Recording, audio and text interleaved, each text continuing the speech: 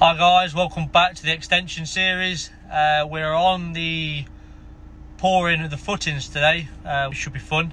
I try to record as much as I can, but I don't want to take too long trying to mess around with the camera, blah blah blah. Just want to get it done and get it in. Um, so the next thing will be laying the trench blocks, concrete blocks. You know how it goes. Um, so yeah, let's get to it.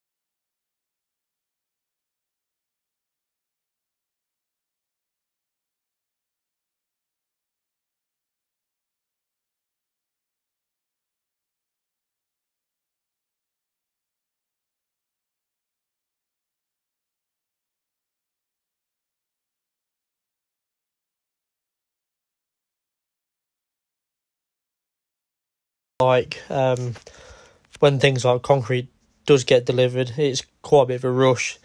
So I didn't really get a chance to move the camera where I wanted it to be. Um, so just got majority of the lads getting it in, a bit of me leveling it off. Um, I think we had 5.6 cube in the end, which was a bit more than we anticipated.